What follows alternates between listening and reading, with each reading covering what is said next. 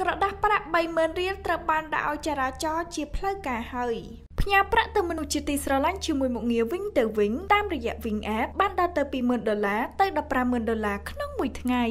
រាជរដ្ឋាភិបាលបានចេញអនុក្រឹត្យលេខ200អនក្របកអនុញ្ញាតដាក់ឲ្យចរាចរណ៍និងប្រើប្រាស់ទូទាំងប្រទេសក្រដាស់ប្រាក់ប្រភេទ30000រៀលគំរូថ្មីអបអរខួប30ឆ្នាំកិច្ចព្រមព្រៀងសន្តិភាពទីក្រុងប៉ារីសនិងខួប30ឆ្នាំនៃការយាងនិវត្តន៍របស់ព្រះករុណាព្រះបាទសម្ដេចព្រះនរោត្តមសីហនុព្រះបរមរតនកោដ្ឋនេះបយងតាម Facebook Page ផ្លូវការរបស់សម្ដេចតេជោហ៊ុនសែននាយករដ្ឋមន្ត្រីកម្ពុជា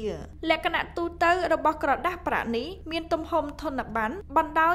170មីលីម៉ែត្រនិងទទឹង75មីលីម៉ែត្រមានពណ៌ចម្បងគឺពណ៌បៃតងពណ៌ត្នោតនិងពណ៌ស្វាយសម្រាប់ផ្ទៃខាងមុខ ផ្នែកកណ្ដាលខាងស្ដាំ មានព្រះឆាយាល័ក្ខណ៍មើលចំពីមុខនៃព្រះករុណាព្រះបាទសម្ដេចព្រះនរោត្តមសីហនុព្រះបរមរតនកោដ្ឋផ្ទៃខាងស្ដាំមានអក្សរធនិគារជាតិនៃកម្ពុជា ផ្នែកខាងឆ្វេងខាងលើមានរូបព្រះសង្ហានៃព្រះរាជាណាចក្រកម្ពុជា និងលេខ30000ចំណែកផ្នែកខាងខ្នងផ្នែកកណ្ដាលមានព្រះឆាយាល័ក្ខណ៍ព្រះករុណាព្រះបាទសម្ដេចព្រះនរោត្តមសីហនុព្រះបរមរតនកោដ្ឋនិងសម្ដេចអគ្គមហាសេនាបតីតេជោហ៊ុនសែននាយករដ្ឋមន្ត្រីនៃព្រះរាជាណាចក្រកម្ពុជា